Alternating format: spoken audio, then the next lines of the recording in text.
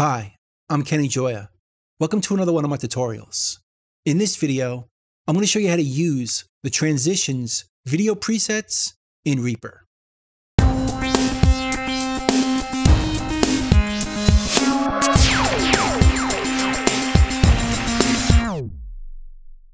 Now to add a video in Reaper, we can drag and drop it from our computer, or we can go up here to the Insert menu and choose Media File.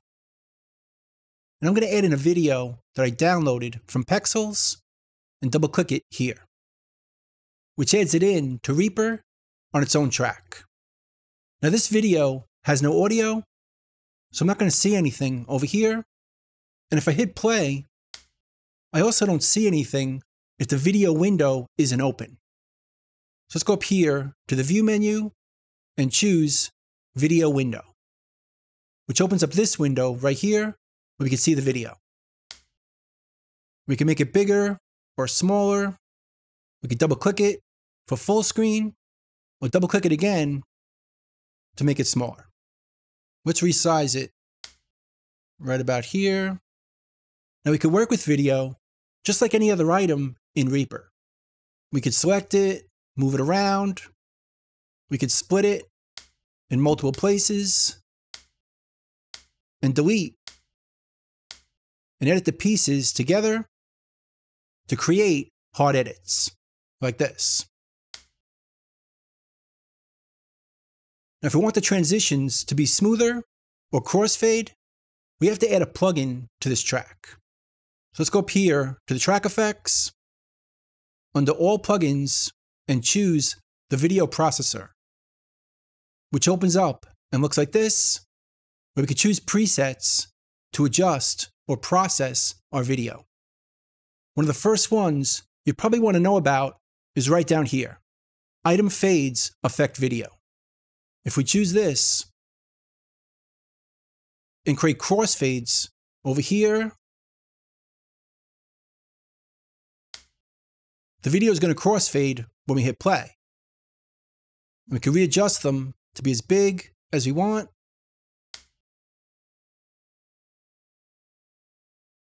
And we could also fade in and fade out right over here. Create a fade in or a fade out, and the video fades out.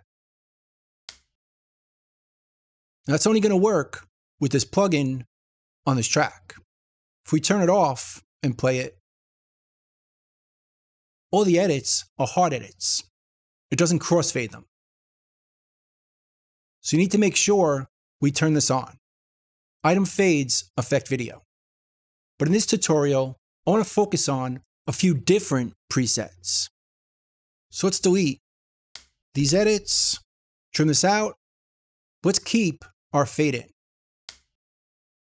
And in order to keep that fade in, we have to leave that plugin on this track and add new ones to create new video effects. So instead of changing the preset over here, we're going to leave it right here and add a new one on top. Video processor, and go to the presets down over here, the transition ones. The first one I want to show you is horizontal wipe. And if we choose this, we can see it wipes the right side, but keeps the left side. And we can adjust that to be fully open or fully closed. So we could turn that into a wipe if we automate this parameter. So let's select it, go to our parameter menu, and show the track envelope. Then we can automate right over here. Hold down Shift and create a few points. Let's bring this one all the way down and watch the video. It fades in and transitions with that horizontal wipe. Horizontally, based on the automation or the envelope we just created. And we can adjust it to be quicker.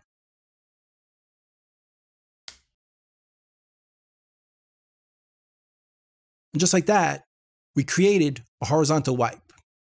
But we can readjust it more to adjust the fade size so it's a bit softer and the divider size But we could also go from left to right instead of from right to left. Just change the left input to be 1 and the right input to be 0. Let's clear the automation and do it the opposite way. Create a few points. And it goes from left to right and back again. And this is most useful for transitions. So we can create an edit right here.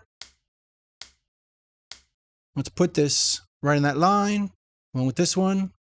Now this transition is going to happen based on that wipe.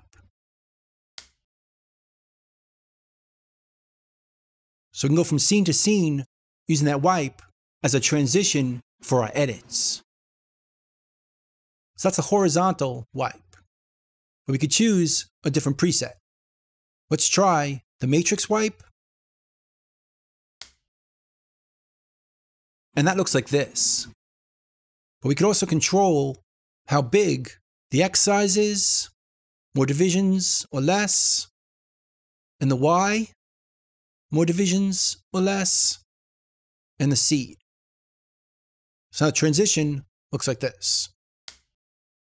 Changes to a matrix as a wipe, as it transitions from one edit to the other. And we could also use the peephole wipe or vignette. Let's start off with the automation turned off.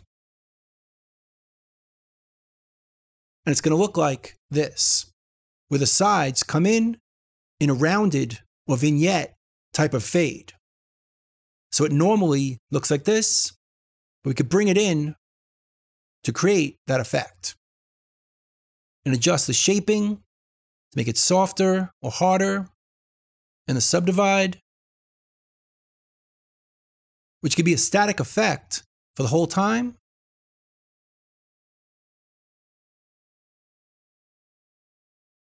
Or we could use it as a transition. Let's automate the size starting full up. We could automate this parameter.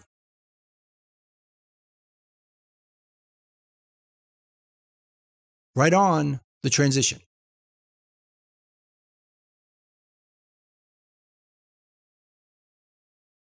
That's what's known as the peephole wipe or the vignette effect if we don't use it as a wipe or a transition. So it's full up, then it goes down to a peephole and back out for the transition or the edit.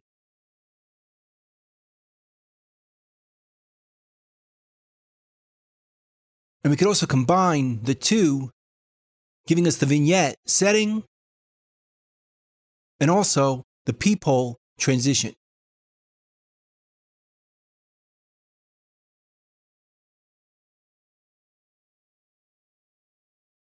Let's clear the envelope again and check out one other preset, the vertical wipe. And this is going to work very similar to the horizontal one, except it goes up and down.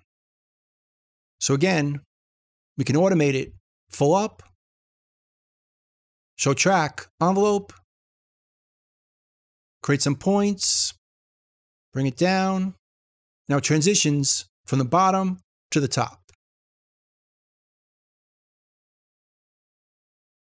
And again, we could switch it with the top input to be 1 and the bottom input to be 0. Then we could right click and invert the points to reverse the effect. And once again, we can combine as many of these effects as we want. So we can add the vignette on top of this by adding another instantiation of this plugin on top of this one and I'll wipe and set this to vignette, adjust it how we prefer, and it's still going to be there while we transition vertically. And we could also put the effects directly on the item. So let's move the vignette effect to the first item. Alt on the PC, Option on the Mac, and drag it over here and drop it. Now it's no longer on the track. Now we're just going to have it on this item, not this one, which we can see right up here.